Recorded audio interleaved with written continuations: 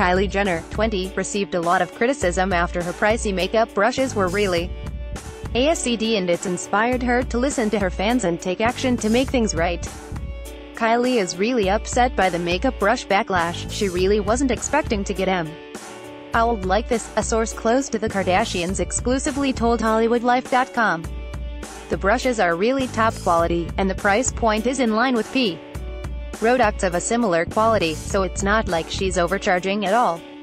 The problem really is that the majority of Kylie's fans are teenagers, or girls in their early 20s, and they really don't have over $300 to spend on makeup brushes Kylie is taking all the criticism on board, she doesn't want to be seen as being elitist, or out of touch, she's discussing a number of different T options right now and the most likely solution is that she will launch a range of cheaper brushes which will prove much more affordable for her core customer base.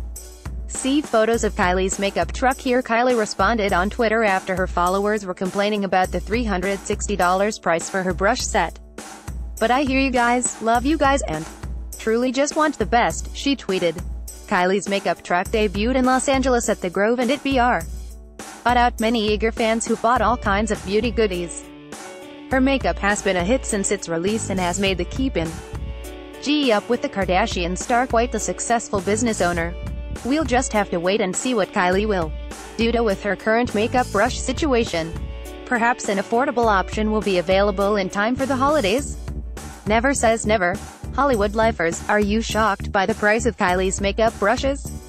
Tell us